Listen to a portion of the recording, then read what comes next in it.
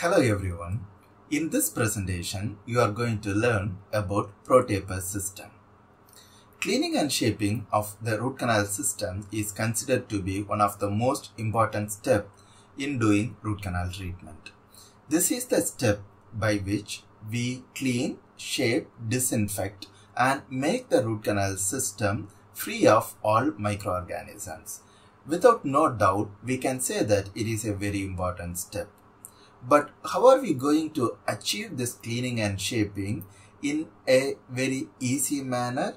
That is what the ProTaper system comes handy and it will come to save lot of time and it will provide us a simplified at the same time a very efficient system for cleaning and shaping the root canals.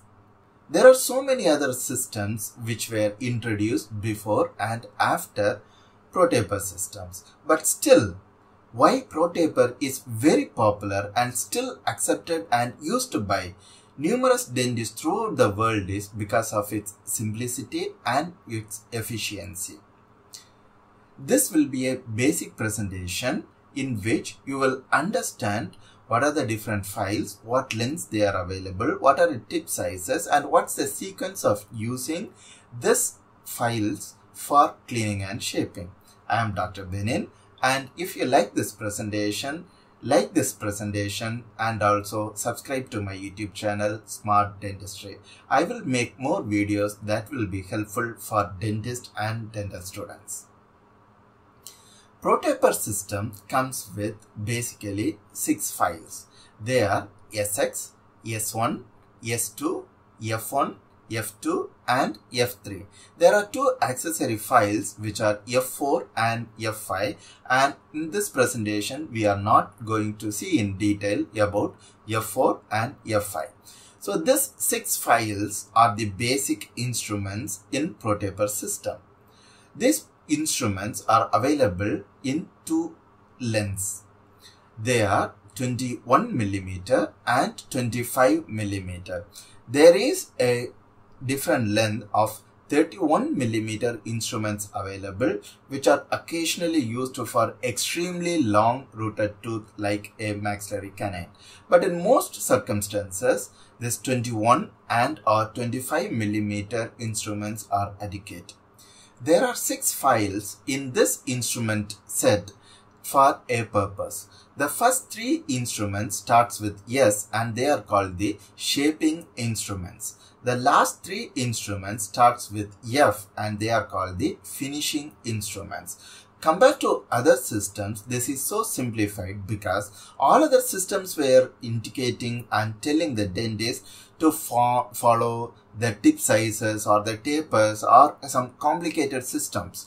But this ProTaper system says that you have to just use the first instrument followed by the second, third, fourth, fifth and the sixth instrument and your cleaning and shaping will be complete.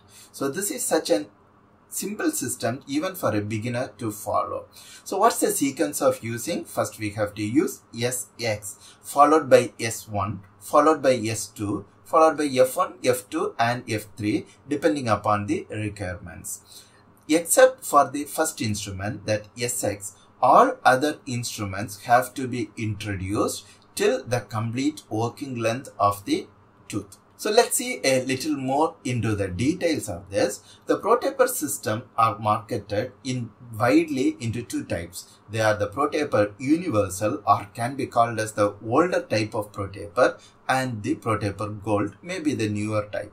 So what's the basic difference between the ProTaper Universal and ProTaper Gold is the ProTaper Universal is made of austenitic alloys and the ProTaper Gold is made of the shape memory alloys. Or we can say that control memory alloys. So what's the basic difference? The metallurgy is different. So what about the applications? Maybe compared to the ProTaper Universal, ProTaper Gold is more flexible and it can be applied and it can be used in more curved root canals and maybe for a little more efficient flexibility with the instruments.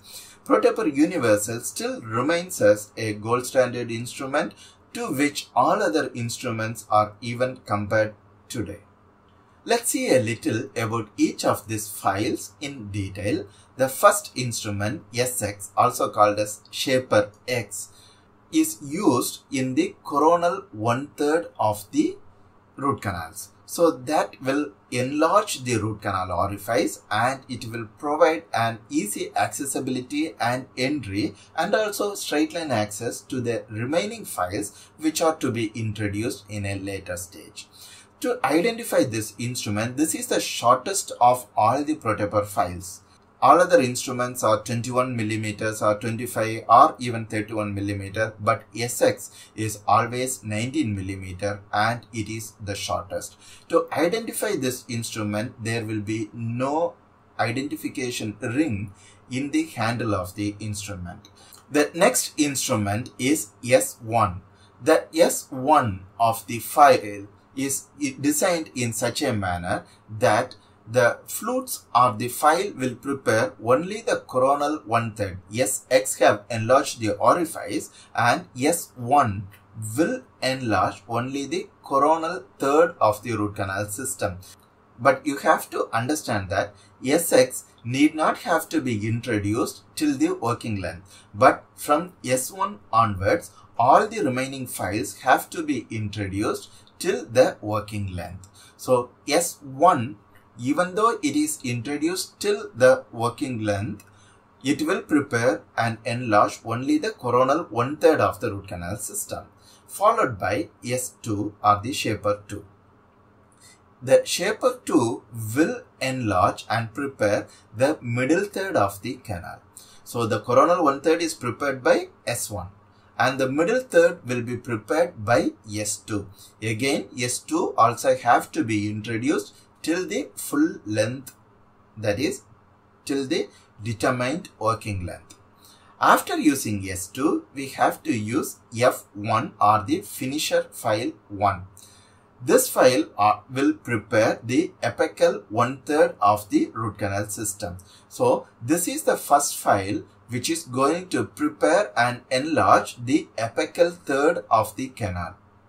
So just if you if uh, the preparation is adequate and if you are able to get a good tug back by verifying the apical size we can finish cleaning and shaping with f1 but most of the canals which are especially in case of young patients we may have to go till f2 the f2 also enlarges the apical one third. The coronal one third is prepared by S1, the middle third is prepared by S2 and the apical third is already enlarged by f1 and now you are enlarging to f2 and if you are going to get an adequate tug back with a f2 gutta cone then we can finish cleaning and shaping. Otherwise we may have to proceed to f3 which will provide more preparation. So now it's the time to understand the tip sizes of each and every files the shaper files, it is not essential for a beginner to know the tip sizes and the tapers. The F1 which has a yellow identification ring and a yellow color stopper has a tip size of 20 or 0.20 millimeters. So F1 and SX have a yellow color stopper but there will be no band in SX but the F1 will have a yellow color band or the identification ring in the handle. S1 has a purple color band and also a stopper. S2 has a white color band and a white color stopper. F2 has a red color band and a red color stopper and F3 has a blue color stopper and a blue color band. So as I already mentioned, F1 has a tip size of 0.20 mm or size 20. According to the ISO color coding, 20 has a yellow color. So F1 matches 20 and it has a yellow color coding. And F2 has a tip size of 0.25 millimeter or 25 ISO size. And according to ISO standardization, red color is the color which is allotted for 25. So F2 with a tip size 25 has a red color. And the 30 automatically denotes size 30 which is the F3 and which has a yellow uh, sorry which has a blue color band and a blue color identification ring.